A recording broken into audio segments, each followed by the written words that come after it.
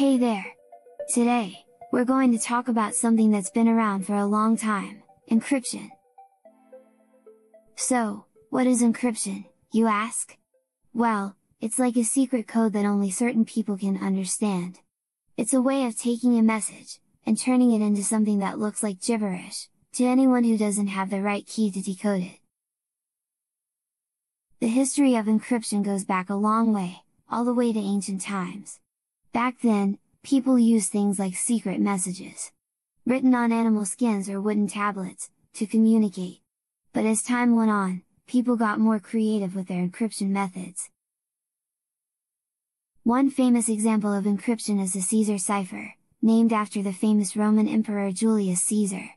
He used to send secret messages to his generals, by shifting each letter of the alphabet a certain number of places. For example, if he shifted the letters by three places, the letter A would become D, B would become E, and so on. So, if he wanted to say attack at dawn, he would write, DWWDF and DWGDZQ instead. Pretty clever, huh? But encryption didn't just stay in the ancient world. During World War II, both the Allies and the Axis powers, used encryption to send secret messages to their troops. One famous example, was the Enigma machine used by the Germans. It looked like a typewriter, but it could encode messages in a way that was nearly impossible to crack. But the Allies were able to figure out how the machine worked, and break the code, which helped them win the war. Today, encryption is used all the time, especially on the internet.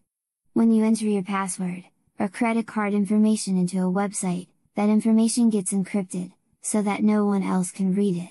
And even your text messages and phone calls can be encrypted, so that only the person you're talking to can understand them.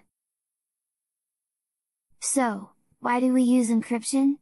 Well, it's all about keeping things safe and secure. If someone intercepts a message that's not encrypted, they can read it, and use the information for their own purposes. But if the message is encrypted, they won't be able to read it, and the information will stay safe. So, there you have it! Encryption may seem like a fancy, high-tech thing, but it's been around for thousands of years, and it's all about keeping secrets safe.